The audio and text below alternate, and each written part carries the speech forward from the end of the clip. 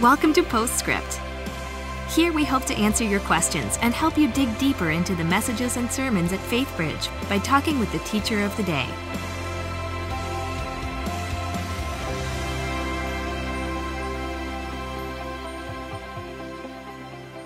Hi, and welcome to Postscript. I'm Luann Riley, Grow Group Director, and I'm here with Ben Stuart, Bible teacher. And this week we took a second look of things that are affecting just our culture and our climate. And last week we looked at technology. This Right. week we looked at money. Right. Welcome back. Yeah, Yes, I love this. Yeah, um, just the way that you're bringing in different parts of our culture and how, as Christians, do we respond to the different issues and climates and things that affect us.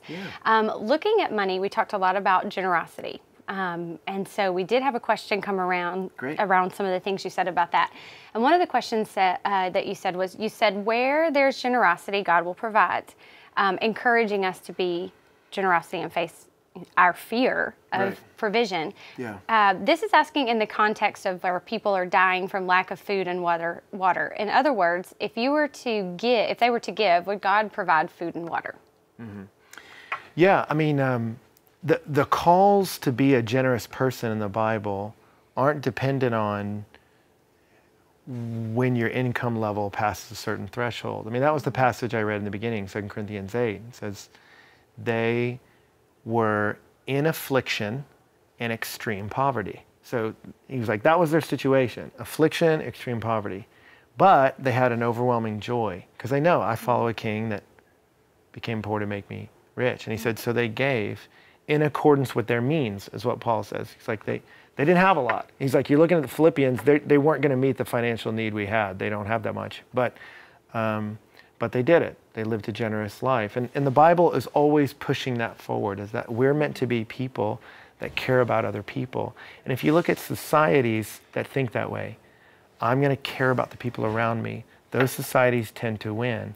It's selfishness when we all silo off and protect ourselves and let me build my little kingdom and I don't care what happens in yours. Those cultures tend to lose.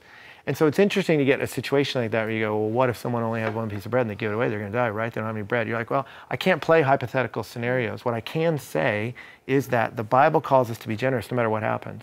I mean, Paul will tell Thessalonians, he'll praise them you joyfully visited the Christians in prison and you joyfully accepted the confiscation of your property. So just keep in mind who he's talking to. It was people that were under severe persecution. They said, if we align ourselves with Christians, we lose everything. And they said, you joyfully accepted the confiscation of your property. Hmm. Like that's the Christian. It says, I so believe in the kingdom God's building, I'll risk everything for it. And I know that when we all think that way, we're all going to win.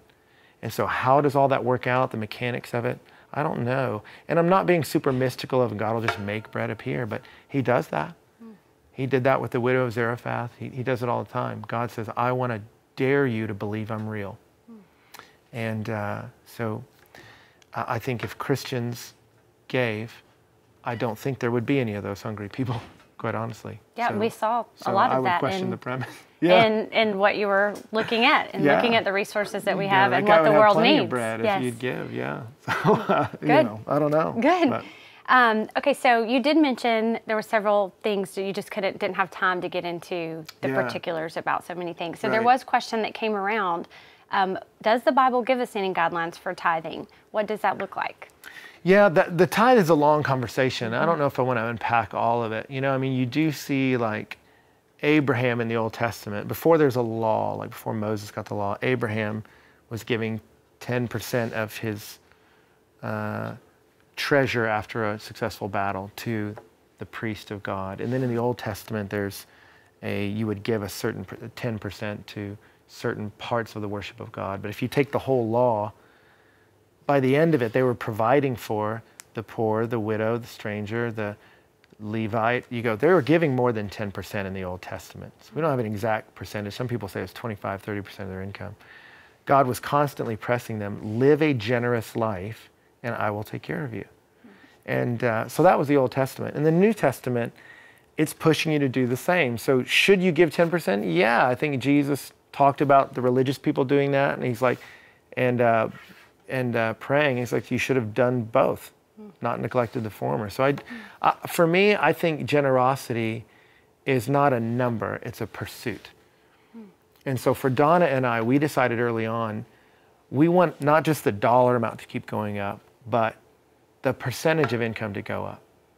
And, and that's a different kind of thinking of when I die, do I want to say I had my comfortable kingdom, or do I want to say I leveraged out to build yours? And for Jesus, he said, I'm not going to own a home, clothes, and then I'm going to get murdered for this cause. No one's going to give more than I did. And his disciples gave the same way. So I do think there should be a bend towards generosity in us. Does he demand we don't provide for our families? No, we can. And there's a place to enjoy life. There really is. And so you don't want to minimize that. But there's a mentality of I am building a different kingdom. And so I won't store up for mine. And uh, so for me, that's where 10% in my mind is a great place to start. Mm, that's good. Um, and talking about starting, one of the questions we had come in is um, you mentioned a lot of places people can give. Um, how do we determine where we start giving? Yeah, it's a great question. I mean, you know, when I came around finances early in my life, you're like, okay, I want to give, save, and spend. Those are the three I want to do. And I want to do it in that order. I want to give to the cause of Jesus in the world. I want to save to provide for my family, mm-hmm. and then spend to live the day to day life we live now. And um, for Donna and I, we struggled through the percentages on these. And early on, we thought in giving, let's start with where we are. We're a part of a church community in our town. You've joined a body of believers that are trying to push back the darkness, be a difference in the kingdom of God in your neighborhood. Fund that. Those are your people. And so for us, we just decided our 10% is going to go to our local church. I think your local church is where you start. You go, these are the people I've linked arms with and said, we're the people of God in this neighborhood, in this place. And that's where I would start. And some people do all their giving to their local church. And that's great because then maybe their church gives to other places. Right, if you have a church that's real missional. So many places. Yeah, then you go, mm-hmm. okay. I trust y'all. Like if you trust the leadership of your church, you go, then I went in on that. It's like investing in stock. You're like, I trust that guy, just invest for me. You go, I didn't trust this church, I'm gonna invest in it you know? Mm-hmm. And I trust the leadership of the church to, to steward that. Other places, like for us, we go, we're going to give this percentage to our church, and then we have these missionaries we want to support, we have these causes we want to come around, and then every year crises come up, and we want to come at those and go, how are we going to be a part of solving that? And so um, I think you start in the house you're in, uh, and then you pray and see what God may have you do and it may surprise you. I, I, know some guys that some of the best, most generous people I know, they sit down every year and they really seek the Lord. Where would you have us give? And that's like a big priority. And I go, man, so many people don't even ask that question. And they've landed in different places, translating the Bible, serving refugees. Who knows where God may lead you, but start at home and then see what God puts on your heart. Great. Yeah. Great word. Great to have you back again. Thanks. Looks like we're wrapping up the year with you. Yeah, this yes, is it. This, this is, is, it. it. So, so I just wanted to challenge people gonna have and then a... head out. Yeah. well, thank you for both of these Advent messages and many blessings for the Stuart family for you guys to have well, a magical Christmas with the little ones thanks, and yeah. everything that's happening Merry with Christmas you guys. You guys. thank you. And thank you for joining us here at Postscript. We'll see you back here next week.